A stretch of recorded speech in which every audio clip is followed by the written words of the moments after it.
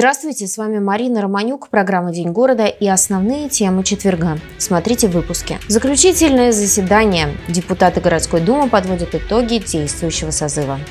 Точно в мишень. Чемпионат России по стрельбе среди сотрудников ФСИН проходит в Рязани.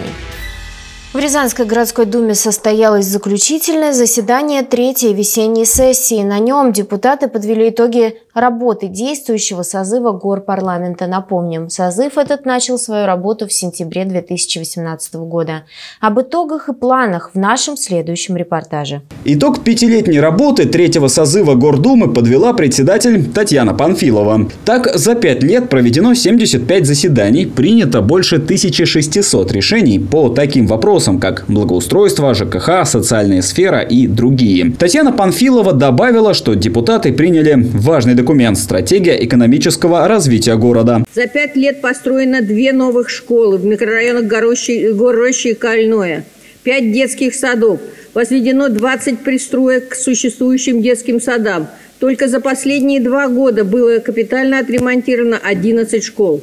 Большое внимание уделялось созданию модельных библиотек, ремонту детских учреждений дополнительного образования. Было открыто новое здание школы искусств номер два в Недостоево. Важная тема повестки – это изменения и дополнения в бюджет на 2023 год. Доходы и расходы увеличились больше, чем на 870 миллионов. Большая часть идет на ремонт дорог, капремонт тепловых сетей и реализация проектов местных инициатив. Выросла и сумма на первоочередные расходы. На приобретение автобусов большего класса, проведение работ для подготовки образовательных учреждений к новому учебному году и отопительному сезону. И валки аварийных деревьев. Одновременно межбюджетные трансферты уменьшаются на 102,7 миллионов рублей. Кроме того, доходы и расходы на 2024 год увеличиваются на 20 миллионов рублей и на 2025 год на 310,5 миллионов рублей за счет субсидий из областного бюджета на строительство детского сада в ЖК «Метропарк». Следующий вопрос коснулся изменений в генплан города. Речь идет о семи участках в районе Галенщина. Из зоны озеленения специального назначения их перевели в зону лесопарков и городских лесов. Предлагаемые изменения в генеральный план города Рязани необходимы для проведения работ по постановке на государственный кадастровый учет участков городских лесов, расположенных на территории города Рязани. Такие изменения позволят увеличить площадь городского лесничества больше, чем на 100 гектаров. После леса будут переданы дирекции благоустройства, и город сможет выделять средства на содержание этих территорий. На участке после включения их в состав лесничества будет возможна только санитарная уборка. Также депутаты Гордумы одобрили установку мемориальных досок на зданиях трех школ. Все военнослужащие РФ, погибшие в ходе проведения специальной военной операции и были награждены Орденом Мужества посмертно. Напоследок обсудили вопрос о присвоении звания почетного жителя города, награждении почетными грамотами Рязанской городской думы. В Управлении Федеральной налоговой службы по Рязанской области подвели итоги работы за первое полугодие 2023 года. На заседании присутствовал губернатор Павел Малков, председатель Рязанской областной думы, главный федеральный инспектор по Рязанской области, министр финансов Рязанской области, а также руководители правоохранительных органов. Несмотря на сложности в экономике региона, за первое полугодие текущего года динамика прироста показала хорошие результаты, заявил на заседании руководитель налоговой службы Вячеслав Морозов. А благодаря работе с должниками уровень взысканий с недобросовестных физических и юридических лиц вырос на 29%. С участием органов внутренних дел было проведено 10 выездных налоговых проверок Дополнительно поступило в бюджет 100 миллионов рублей, чтобы больше аналогичного показателя прошлого года аж в три раза. Совокупная задолженность по налогам, сборам, страховым взносам, пеням, штрафам за первое полугодие снизилась на э, 2 миллиарда 798 миллионов рублей или на 11% относительно начала года. Всего налоговые поступления в областной бюджет за первое полугодие составили 34 миллиарда 865 миллионов рублей. Этот показатель превышает цифру аналогичного периода прошлого года на 327 миллионов рублей. Показатели очень достойные. Ну, собственно, сколько я работаю здесь, в Рязанской области, налоговые так всегда. Знаю, какой большой труд стоит за каждым из этих показателей, поэтому, Вячеслав Антонович, благодарю вас весь коллектив за вот эту большую работу. Для региона это очень важно. Мы с вами уже говорили, что это развитие, это новые возможности, новые проекты, которые мы можем реализовать благодаря вашей работе. В завершении заседания региональная налоговая коллегия обозначила основные задачи до конца 2023 года. Среди важных аспектов – снижение общей задолженности, а также проведение мероприятий по налоговому контролю. Кристина Бочкарева, Дмитрий Ефимов, телекомпания «Город». За звание самых метких и быстрых соревнуются стрелки из числа сотрудников ФСИН. В Рязани стартовал Всероссийский чемпионат ФСИН по стрельбе из боевого ручного стрелкового оружия. В соревнованиях принимают участие более 250 сотрудников территориальных органов и образовательных организаций ФСИН России из 38 регионов страны, в том числе сотрудники отрядов специального назначения. Успешно выполнив упражнения, спортсмены могут получить звание мастера спорта.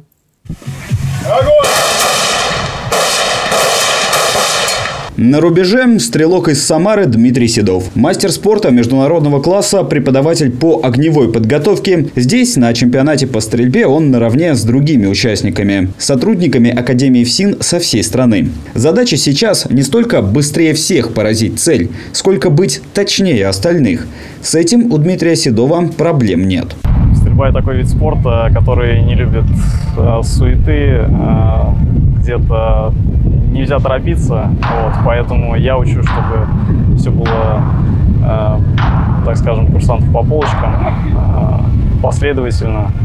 Ну и, конечно, точность, точность исполнения всех действий на огневом рубеже, в том числе с оружием, потому что оружие это, ну, не безопасно, так скажем, но и с ним нужно уметь безопасно обращаться. В этом году во Всероссийском чемпионате ФСИН по стрельбе спортсменов стало больше. На стрельбище Академии приехали 38 команд со всех регионов страны. И только 6 из них из учебных заведений. Они, кстати, соревнуются отдельно. В программу включены упражнения по стрельбе как из автомата, так и из пистолета. Различаются, например, по дистанции. С пистолетом участники подходят к мишени ближе. В каждом упражнении задача задача своя. В одних нужно просто стать самым метким, в других опередить соперников не только в точности, но и в скорости. У нас определено э, по результату. Если выполняют на автомате, э, как вот сейчас видно, мишени висят, э, упражнение А4 скоростной 285 очков результат, то любой, кто этот порог преодолеет выше, тот получит норматив мастера спорта. Как раз упражнение с пистолетом выполняет Рамзан Баштагов. В Рязань сотрудник УФСИН приехал из Чеченской республики. Оружие у спортсмена свое, личное. Говорит, что так проще. Уже знаешь, как родной пистолет ведет себя в той или иной иной ситуацией. Частично, говорит, это и помогло стать мастером спорта по стрельбе из ПМ. Но про психологическую подготовку забывать тоже не стоит. Очень важны на психологическое состояние спортсмена, чтобы он был именно, как бы он сильно не тренировался физически, сколько бы ему настрела не было, если у него нет именно психологической подготовки, даже подготовки, вот то, что он может справиться с данной задачей, когда человек, спортсмен, выходит на рубеж, у него уже очень сильно идет давление чисто психологически. Физически это, в принципе, не трудный спорт такой. Да, техника нужна, наработки нужны.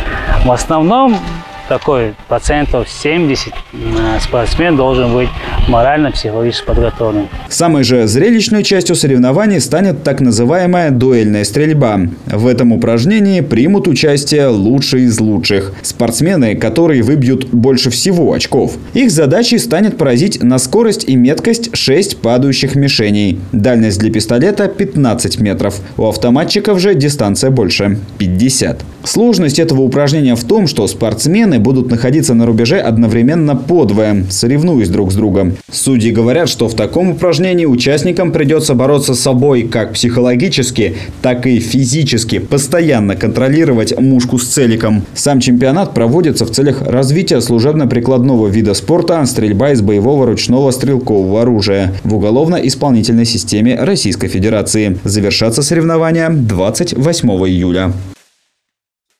В Рязани станет больше детских площадок. Нехватка во дворах домов, мест для отдыха с детьми – проблема, которая беспокоит многих рязанцев.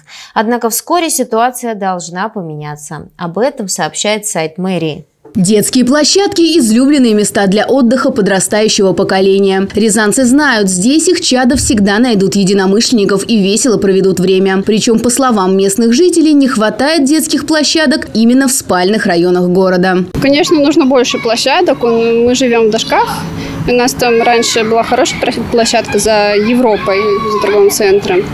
И сейчас там уже почти от нее ничего не осталось. Вот сюда вырвались погулять. По сообщению администрации, детских зон отдыха станет больше ровно на 40 штук. На эти цели выделено 40 миллионов рублей. Строительство 15 детских площадок сейчас на этапе завершения. Объекты принимает комиссия. Совсем скоро на них уже можно будет наслаждаться беззаботным детством. С середины августа приступят ко второму этапу проекта и установят еще 25 детских площадок. Я так думаю, что городу не хватает детских площадок